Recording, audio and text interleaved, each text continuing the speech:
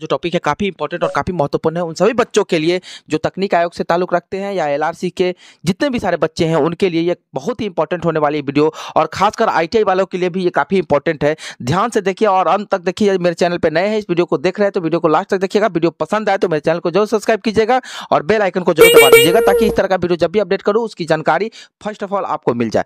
Guys हम आज सभी मुद्दे पर चर्चा करने वाले हैं। बिहार सरकार ने दो नीति अपनाई थी बहाली करने के लिए।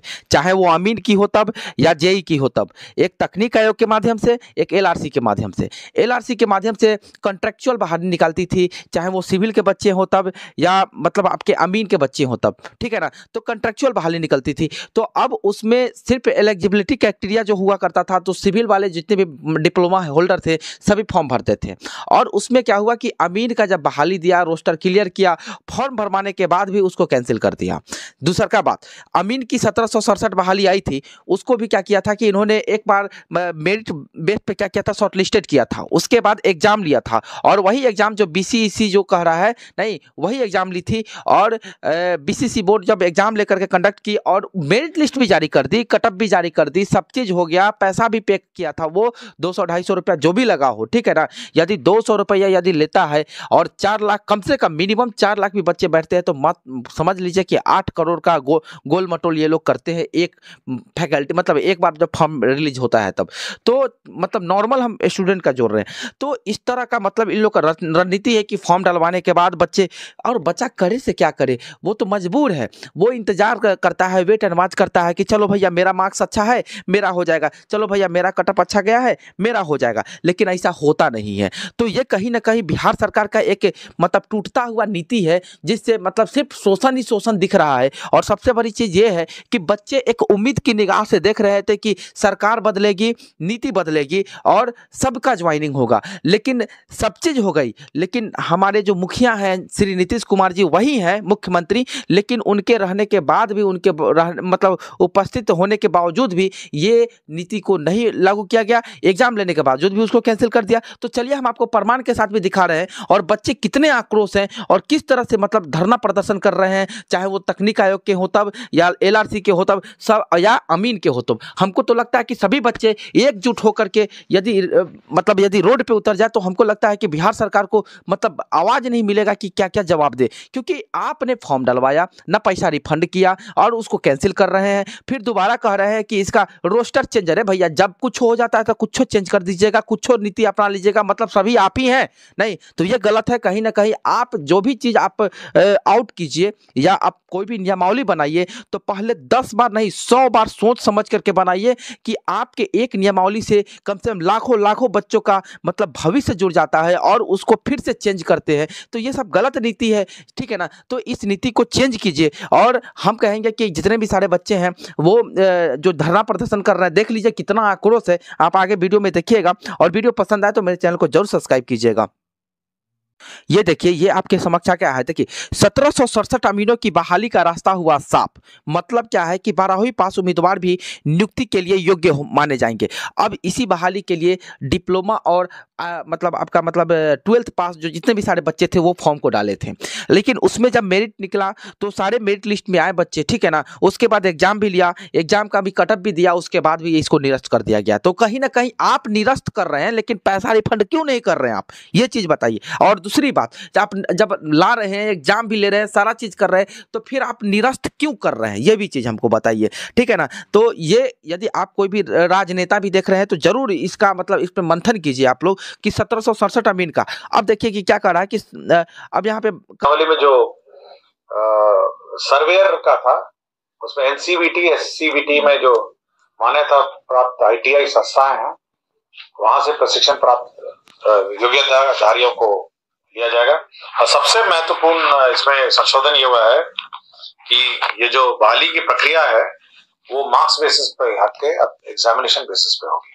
तो ये महत्वपूर्ण ये तो आप देख लिए कि किस तरह से कहा जा रहा है कि जो अभी पिछले बार सत्रह जो अमीन का बहाली निकला था, उसको रद्द करते हुए और पुनः फिर से मतलब अब इस पे योग्यता डिग्री जो होंगे, आईटीआई वाले एस या एन करने वाले ड्राफ्टमैन सिविल के जितने भी सारे छात्र हैं, वो अब इस फॉर्म को डालेंगे और उनके लिए अब अच्छा मौका आ गया और उस नियमावली को चेंज कर दिया गया। लेकिन अब देखिए कि बच्चों में क्या प्रदर्शन है और हम आपको बता दें कि जो अभी दस हज़ार मतलब आपका अमीन का बहाली जो आया था मतलब एलआरसी के माध्यम से जो आया था, उसके बारे में हम थोड़ा सा बता दें हम आप लोगों अब ये लीजिए बिहार सरकार राजस्व एवं भूमि सुधार विभाग भू अभिलेख एवं परि, परिमाप निर्देशालय। देखिए यहाँ पे क्या कह रहा है कि विज्ञापन संख्या पाँच दो हज़ार बाईस विशेष सर्वेक्षण सहायक बंदोबस्त पदाधिकारी या विज्ञापन संख्या छः दो हज़ार बाईस मतलब विशेष सर्वेक्षण कानूनगो का विज्ञापन संख्या सात दो हज़ार बाईस विशेष सर्वेक्षण अमीन का एवं विज्ञापन संख्या आठ दो हज़ार बाईस मतलब ये जो भल अभी जो लेटेस्ट जो आया था वो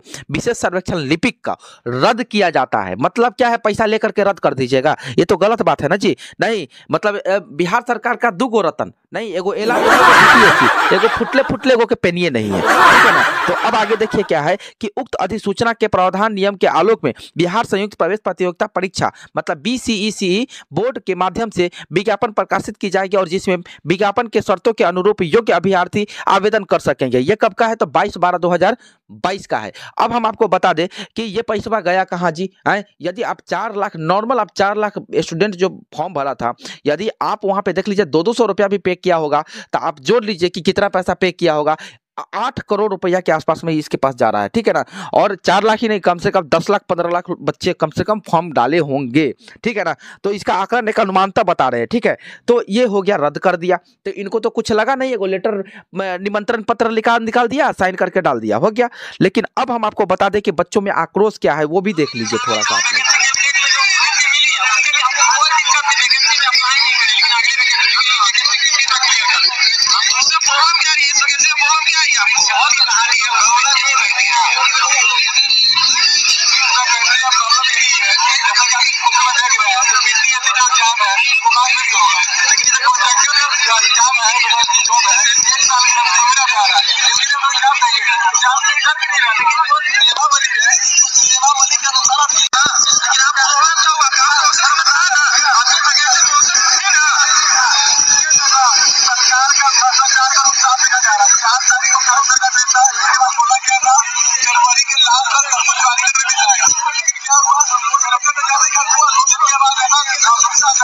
बात आपको ये बता दे कि इस सब इस सब का जिम्मेदार कौन है? जानते हैं? बिहार सरकार है। जो बिहार के बच्चों को दिग्भ्रमित कर करके, उसको शोषित करके, उसको डार्क में रख करके हमेशा शोषण करने का काम किया है। पैसा ले लेना, एक तो गरीबी में ज़िंदगी जीना, समाज, परिवार, सबका एक उम्मीद टिका रहना, पटना में रहना, और वहाँ तक जब रिज़ल्ट होने के बावजूद, जब रिज़ल्ट नहीं होता है, ज्वाइनिंग नहीं करता है लोग, तब तक ये एक मतलब अंधकार ही रहता है। तो ये कहीं ना कहीं काफ़ी मतलब गलत रणनीति है, और भ्रष्टाचार तो बिल्कुल ही है, क्योंकि तकनीक आयोग में आप देख रहे हैं कि आप जब नंबर बेसिस भी किए तो मध्य प्रदेश से, नहीं सी एम जे यूनिवर्सिटी से, कहाँ से कहाँ से आप लोग मतलब इतने सारे फर्जी डिग्री पकड़े गए कि उससे क्या हुआ कि अच्छे बच्चे जितने भी है, नहीं, जो मार्क्स वाले, जो मेरिट वाले बच्चे हैं, वो भी यहाँ पे परेशान हो गए। अब बताइए कि यहाँ बी में परमानेंट नौकरी था, तभी ना आप इतना देखें, लेकिन इससे पहले में जितना भी बहाली कंट्रेक्चुअल हुआ था तो क्या वो बाज बैठा होगा? उसमें भी बहुत सारे होंगे, और हो सकता है, जी हाँ हो सकता है कि वही सब इस पे केस करवाया होगा। ठीक है ना? बीटीएससी पे हो सकता है मे बी नहीं तो आप यदि मेरे चैनल पे नए हैं, वीडियो को देख रहे हैं, वीडियो पसंद आए तो मेरे चैनल को ज़रूर सब्सक्राइब कीजिएगा बेलाइकन को ज़रूर दबा दीजिए। Okay bye